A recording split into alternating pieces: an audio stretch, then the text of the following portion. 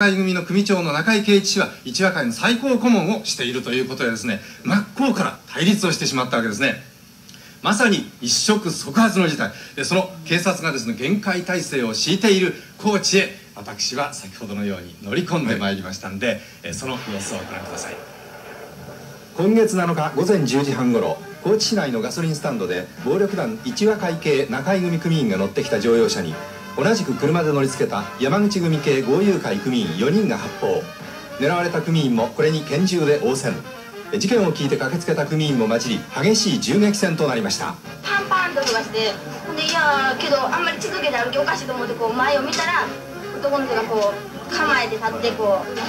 う撃ち寄った。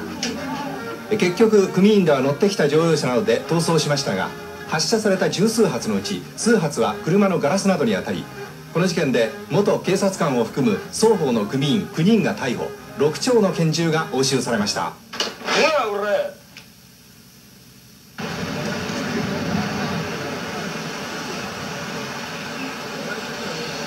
えー、ここはご覧のようにですね、えー、タバコ屋さんですね。そしてその隣はと言いますとバーバー床屋さんなんですね。その隣が喫茶店なんですね。そして喫茶店なんですね。そして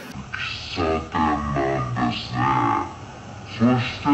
その隣はと言いますとドーンとこの暴力団中組本部があるわけなんですね。しかし物々しい警戒。お疲れ様です。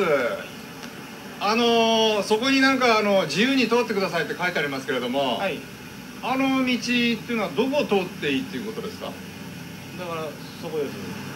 そこってのはこの横断歩道を通っていいと。いやそうじゃなくて。どこでも自由に通ってください、はい、この前もこう通っていいということです。まあそうなります、あそうなんですか。この前通っていいんですか、はい、ちょっと失礼してあのインターホンをさせていただきます、い。いですね。えー、東京のテレビ朝日なんですけれどもどなたかいらっしゃいませんでしょうか？すみません。どなたかいらっしゃいますか？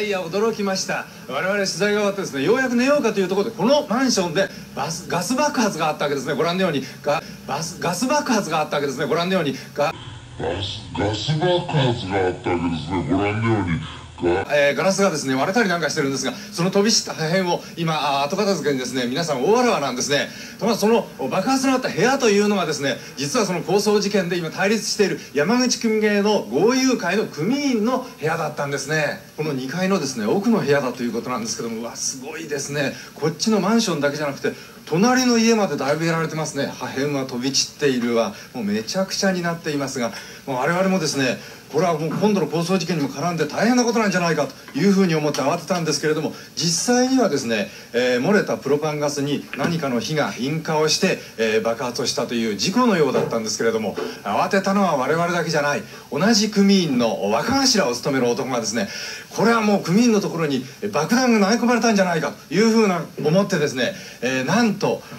水平2連の自動猟銃という物騒なものを持って、えー、駆けつけちゃったわけですね。で現場に居合わせた警察官に逮捕されてしまったということなんですね。